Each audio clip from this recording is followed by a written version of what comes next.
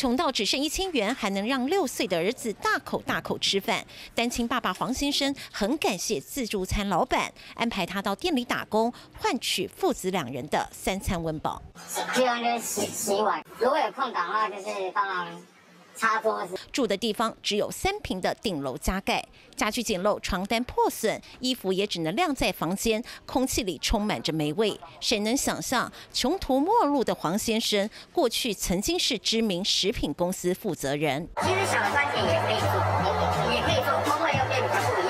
自创的麻辣酱料让他赚进一桶一桶的金，风光荣获桃园的金牌好礼。但三年前疫情爆发，公司突然倒闭，负债千万，妻子不堪压力选择离开。黄先生唯一能留住的，只有当时三岁的儿子。